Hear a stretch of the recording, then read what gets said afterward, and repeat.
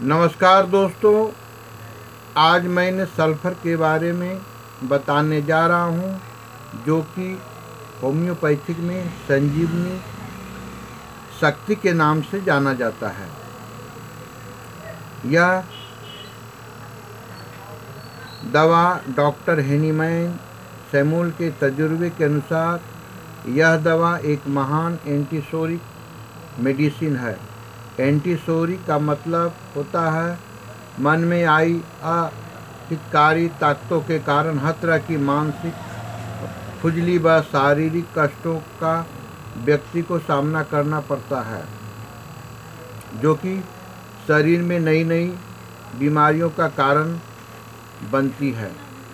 विशेषतः सल्फ़र का प्रयोग चर्म रोग जैसे कि सोराइसिस जैसे कि एक्जिमा जैसे कि मुहासे जैसे कि फोड़ा फुंसी, जैसे कि बवासीर आदि की सर्वोपरि औषधि है। मानसिक लक्षण इनका बहुत महत्वपूर्ण है। इनका मानसिक लक्षण अजीब गरीब होता है, जैसे गले, सड़े कपड़े को रेशमी कपड़े बताते हैं। अपना मतलब आगे रखते हैं, दूसरे की परवाह न करते हैं। मन पतन की ओर दौड़ता है।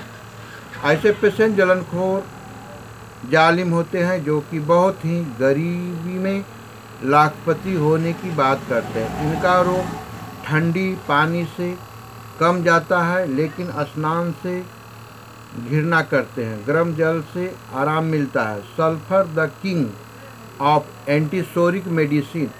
Sulphur is master of eczema sulphur का प्रयोग हट्टी पोटेंसी में लेना चाहिए। मात्र महीने में तीन खुराक, सुबह सुबह पाँच पाँच गोली, तीन दिन तक ले।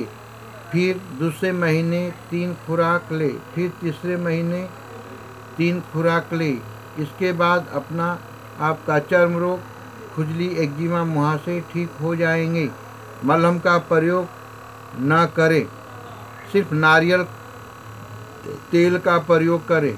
लक्षणानुसार ही दवा का चुनाव करें, नहीं तो किसी अनुभवी होम्योपैथिक डॉक्टर के डॉक्टर के संपर्क करें।